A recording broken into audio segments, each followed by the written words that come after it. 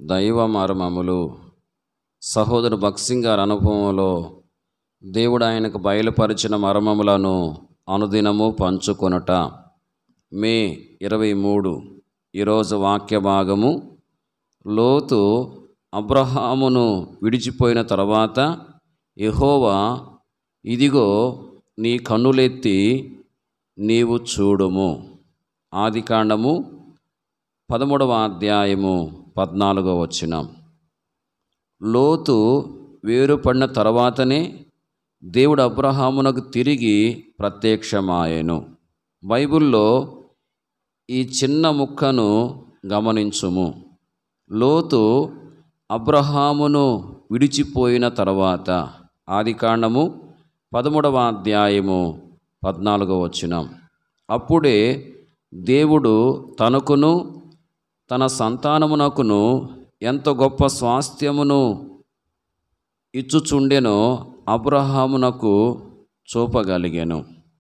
నీ జీవితమునందున్న ఏదో లోతు వలన నీవు దేవునితో నిజమైన సహవాసమును అనుభవించలేకయున్నావు.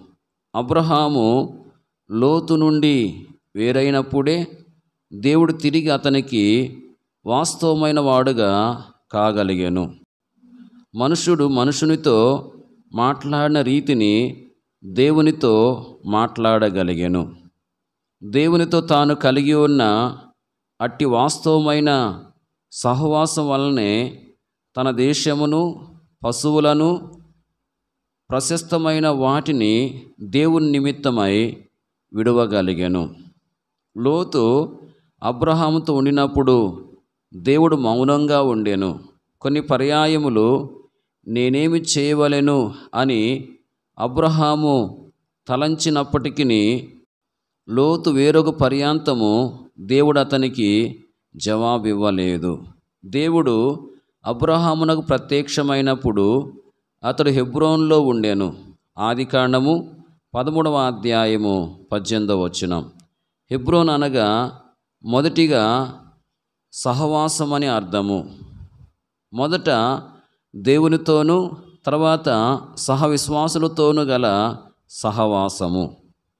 లోతో నీకు గల స్నేహము ఇటువంటి సహవాసమునకు నిన్ను తీసుకొని రాదు. లోక సంబంధమైన నీ స్నేహము బంధుత్వములను నీవు వదులుకొనవలెను. అప్పుడే దేవుడు తనతో స్నేహమును నిత్యత్వమునకు గాను నీకివ్వగలడు. రెండవదిగా హెబ్రోన్ అనగా విశ్వాసము.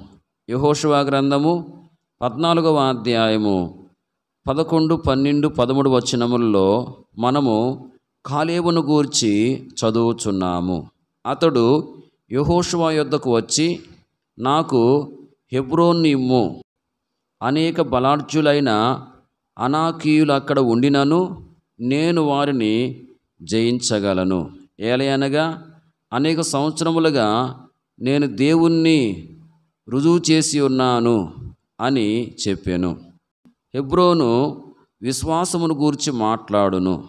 అనాకీయులకు భయపడక వారితో పోరాటకు సిద్ధపడము. నీ సజీవమైన విశ్వాసము ద్వారా బలమైన ప్రతి అడ్డును ఆటంకమును నీవు జయించగలవు. Praise the Lord.